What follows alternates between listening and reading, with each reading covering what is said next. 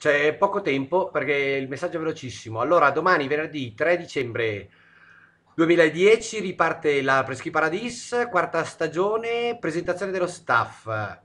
Eh, presenza del mago Clinton, vi aspetto con allegria.